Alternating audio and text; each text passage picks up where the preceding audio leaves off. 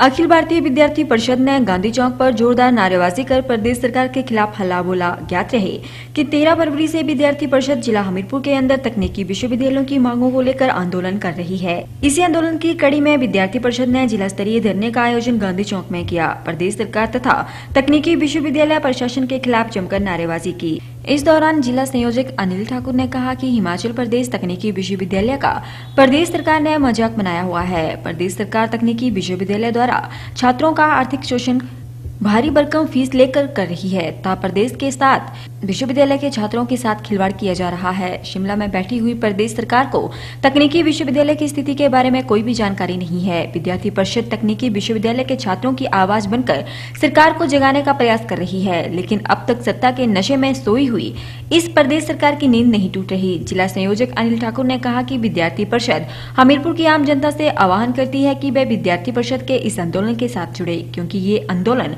अब हमीरपुर जिला के प्रत्येक नागरिक का बन गया है। जिला संयोजक अनिल ठाकुर ने कहा कि प्रदेश सरकार आगामी चुनावों को न भूले, जिस प्रकार से हिमाचल प्रदेश के शैक्षणिक संस्थानों में प्रदेश सरकार नाकाम रही है, चाहे वे मूलभूत सुविधाओं की बात हो या अन्य सुविधाओं की। इस सब का खामियाजा हिमाचल प्रदेश के हज़ारों विद्यार्थियों द्वारा प्रदेश सरकार को भुगतना पड़ेगा। आगामी विधानसभा चुनावों में हिमाचल के छात्र अपनी निर्णायक भूमिका निभाएँगे। जिला हमीरपुर के सभी महाविद्यालयों, इकाइयों में चलाया हुआ है। जिसमें विद्यार्थी परिषद तकनीकी विश्वविद्यालय की जो खस्ता हाल है, वहाँ 2011 से जो यूनिवर्सिटी बनाई गई, प्रदेश की जो टेक्निकल यूनिवर्सिटी लेकिन उसका बहुत ही बुरा हाल है। उनकी डिमांडों को लेकर विद्यार्थी परिषद ने लगातार संघर्ष किया है। तथा कुछ व्यवस्थाएँ वहाँ पे सुधरी हैं, लेकिन अभी भी वहाँ पे अनेकों जो है कमियाँ हैं। जैसे वहाँ पे रेगुलर जो है टीचर जो हैं, और नॉन टीचिंग जो स्टाफ है, उनकी जो है भर्ती अब तक जो है प्रदेश सरकार नहीं कर पाई है। इतने साल जो है प्रदेश सरकार को सत्ता में आए हुए हो गए, और अगले आगामी विधानसभा चुनाव भी आने वाले हैं, लेकिन प्रदेश सरकार के जो वादे जो शिक्षा क्षेत्र को लेकर जो हुए थे चुनावों के समय, वो खोखले दिख रहे हैं। इसमें जो है टेक्निकल यूनिवर्सिटी में जो है बच्चों को जो है लूटा जा रहा है, क्योंकि वहाँ पे टेक्निकल यूनिवर्सिटी को जो है विश्वविद्यालय का जो अनुदान जो है प्रदेश सरकार के द्वारा जो मिलता है, वो केवल मात्र एक बार ही मिला है और वो दस करोड़ मिला है। क्या दस करोड़ में टेक्निकल यूनिवर्सिटी चल पाएगी क्या?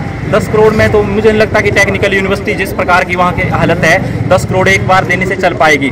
तो वहाँ पे जो है जो बच्चों से जो फ़ीस लूटी जा रही है तथा जो तकनीकी विश्वविद्यालय जो चलाया हुआ है तो हम चाहते हैं कि फ़ीस वहाँ पे जो है कम हो और जो है सरकार जो है उसका जो अनुदान जो है उसको बढ़ाए और जो है उसको हर साल दे और इसमें सब्सिडाइज तथा नॉन सब्सिडाइज जो सीटें हैं उनकी जो है व्यवस्था की जाए इन मांगों को लेकर विद्यार्थी परिषद जिला हमीरपुर के अंदर जो है तेरह फरवरी से धरना प्रदर्शन कर रही है अपना आंदोलन चला रही है इसी की कड़ी में आज जिला स्तर का जो है धरना प्रदर्शन किया जा रहा है अब भी इसके बाद भी जो है प्रदेश सरकार की अगर नींद नहीं खुलती है तो इसके बाद जो है प्रांत स्तर पर जो है पूरे प्रांत में जो है विद्यार्थी परिषद इस यूनिवर्सिटी को लेकर लड़ाई लड़ेगी धन्यवाद